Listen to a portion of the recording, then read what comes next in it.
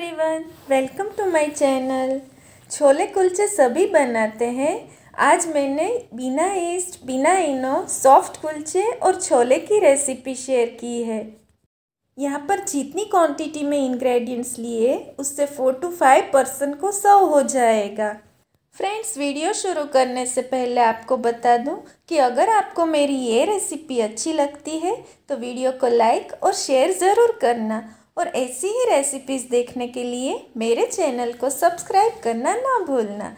तो चलिए step by step chole kulche की रेसिपी शुरू करते हैं।